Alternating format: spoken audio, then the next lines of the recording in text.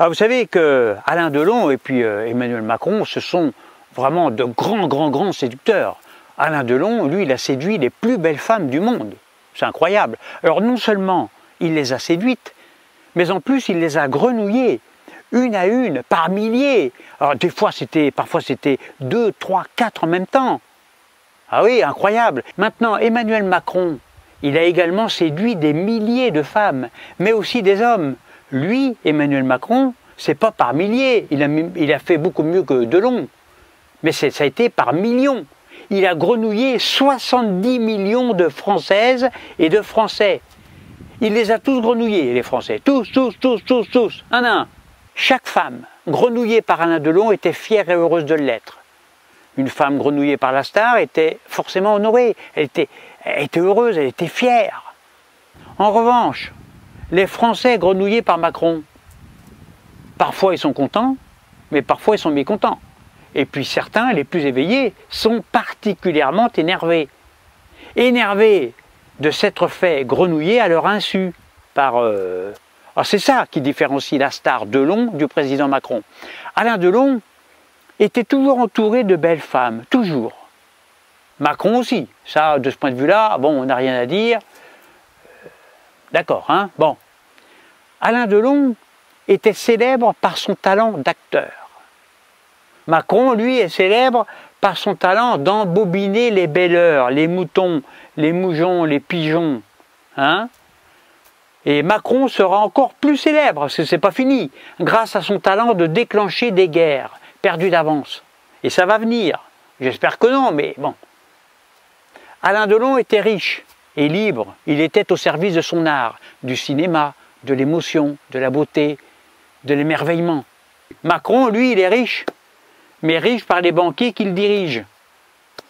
Macron est un homme intelligent, c'est vrai. Il est au service de la finance grise. Il est à quatre pattes devant ses maîtres, à quatre pattes. Maintenant, on va parler de drogue, hein, vous savez, euh, hein, d'accord?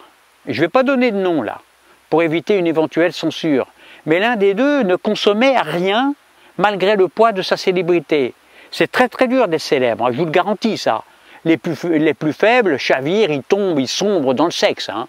L'argent, la drogue, l'alcool, la dépression. Regardez Pierre euh, Palmade. Mais il n'y a pas que lui, il y en a beaucoup d'autres. Donc l'un des deux était fort, il était très fort. Alors que l'autre, il en sniffe lui, hein, et de la bonne, et en grande quantité. Je ne donne pas de nom, hein, D'accord? C'est l'un des deux, de façon. C'est ou Delon ou Macron. Entre les deux, l'un était droit, franc, honnête, fidèle, transparent. C'était viril. C'était ce qu'on appelle un grand homme. Alors que l'autre, eh bien, il a l'esprit tordu, dépravé, déviant, pervers. L'un représentait la France telle que nous l'aimions, l'autre est un vendu. Il brade la France dans l'indifférence générale. La France, maintenant, aujourd'hui, actuellement, elle patauge dans la décadence. L'un voulait sauver la France, il la défendait, il la représentait même parfaitement aux yeux du monde, tandis que l'autre la déprave et la ridiculise. Eh bien oui, avec l'un des deux, je ne dirai pas son nom, hein, j'insiste, les Français se font grenouiller en beauté.